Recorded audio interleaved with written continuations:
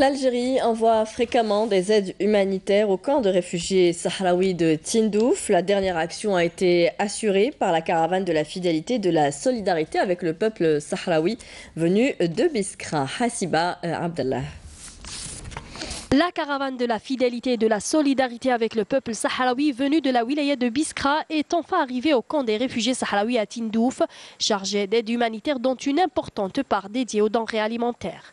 Une action que les initiateurs veulent perpétuer dans le temps. C'est notre troisième caravane. Nous tenons à continuer dans cette voie, à être fidèles et solidaires avec nos frères. C'est notre premier objectif.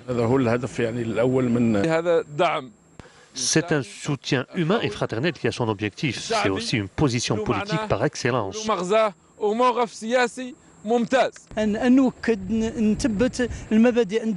Nous tenons à souligner les principes de l'Algérie solidaire avec le peuple et la cause sahraoui.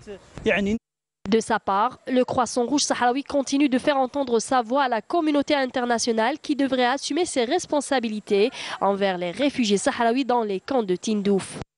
Nous enregistrons un déficit qui demande des aides de la part de toutes les organisations. Nos frères algériens ont toujours été les premiers à nous soutenir. Ils sont présents à chaque fois que nous avons besoin d'aide.